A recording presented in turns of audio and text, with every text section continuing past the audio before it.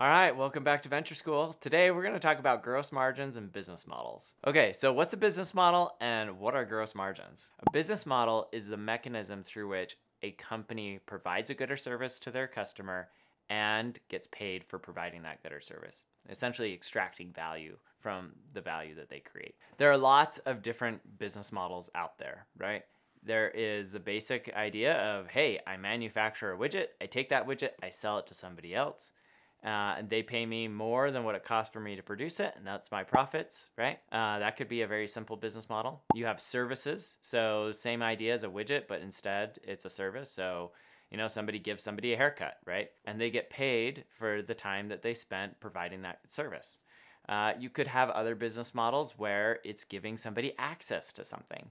So maybe you've created content or you've created a software product and you are essentially saying customers can come in and they can use what I've built uh, either you know to consume it like content or to use it like software and pay me a fee or a rent for the privilege to use that product. Okay, but at the end of the day, these business models, these mechanisms, right, are designed to basically identify a customer's pain point, solve it, right, through your business model, and then make sure that you do it in such a way that you can actually capture the value that you've created for solving that pain point.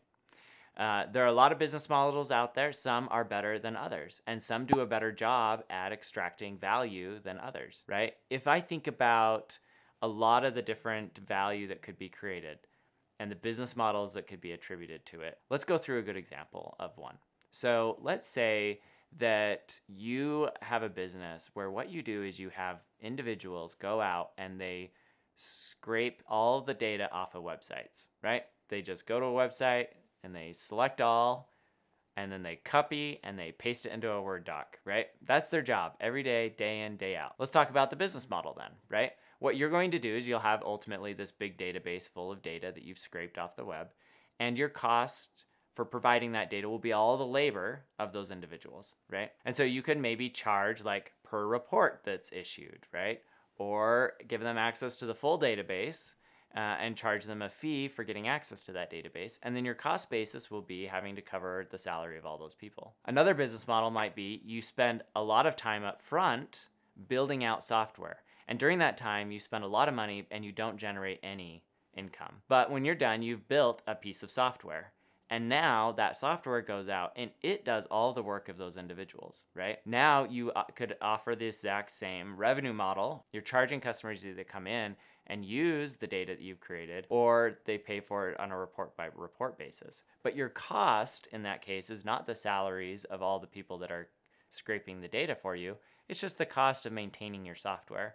Plus, you've got this upfront cost you've had to capture and cover. Both models have different pros and cons, right? One model doesn't require very much upfront capital to get started. You just hire some people and say, all right, go and select the data and copy it and paste it into you know our database. Other one requires hiring a bunch of engineers, right, and has a larger upfront cost, but on the backside has much much higher profit margins and is more infinitely scalable, right? That software theoretically could do the work of thousands and thousands of individuals scraping data. All right, so hopefully that you can see how tweaks in a business model and how you approach it can result in different levels of profits. Now, let's talk about gross margins. Now, gross margins or margins in general are simply what you receive as income minus the cost of providing that good or service, right? So, gross margins are simply if I sell a widget for $10 and it costs me $5 to produce that widget, then my gross margins are $5. On the other hand, if I am providing a service, right, maybe I'm providing haircuts, my cost for that labor to provide the haircut might be $10 and so I charge $20 for that haircut, right? My gross margin in that case would be $10. All right, so why do gross margins matter and why do business models matter when it comes to thinking about venture capital? Well, at the end of the day, as a venture capitalist, our goal is to invest early in a company and in a relatively short time period, we're talking five to 10 years, have that company go from essentially being worth nothing or very, worth very little to being worth a lot of money. And there are two big drivers of what drives valuation increases in a relatively short time period. And that is the perception that there will be lots of profits in the future and that the company will be able to maintain those profits and that the company is experiencing really high growth, right, to achieve kind of market domination in a relatively short time period. From a gross margin perspective, from a margin perspective and a business model perspective, what you want is businesses that are highly scalable that can generate massive profits when they get large enough. And so, in order to do that, you're looking for companies that have very high gross margins and then accordingly very high potential profit margins over time. Here's the other reason too why gross margins matter is a business with very high gross margins is going to be producing a lot more cash that can be used to reinvest in the business and drive future growth. So going back to my prior example, if I am making uh, 90% gross margins, that's going to give me a lot more cash that I can use to spend on marketing and sales to acquire more customers that want my scraped data than if I have 50% gross margins, assuming that the price point for the data is actually the same, right? That then gives me an advantage where when I go head to head with these other companies, I can spend a lot more on marketing and acquire more customers and grow faster than they can, thereby pushing them out of the market. And because of that, these companies tend to grow faster.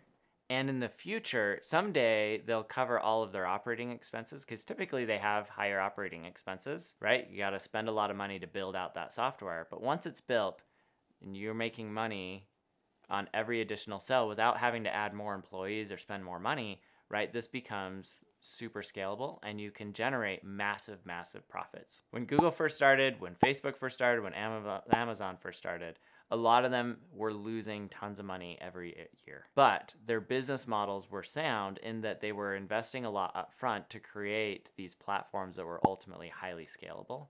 And as they generated enough revenue coming in to cover their operational expenses, all the which were primarily fixed expenses, all of the additional revenue could go straight to their bottom line and generate the massive profits that these companies generate today. Because of that, because of growth from reinvesting the cash from their business, and because of the high profitability of their businesses and their business models, these companies end up getting very, very high valuations from investors.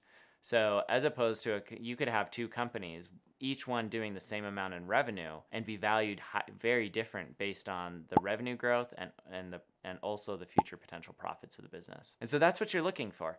As a venture capitalist, you are looking for companies that have really high gross margins because they've figured out a business model that allows them to generate high profits. Now, there are different business models that are very common in venture capital because this is what VCs look for. Enterprise software tends to be one of those. And the reason for that is because once you write the software, it doesn't cost you very much, if anything, to add one more customer. It's very scalable, right? If I want to add one more customer, it's just a little bit incremental cost on my server. It's not very much, right? That makes it really great because I can then spend lots of money acquiring those additional users. If I wasn't using a software product, right, and I was just providing the service with human labor, every time I add a new customer, I got to go hire somebody else to come in and help run the business, right? Thereby making it very expensive to scale up.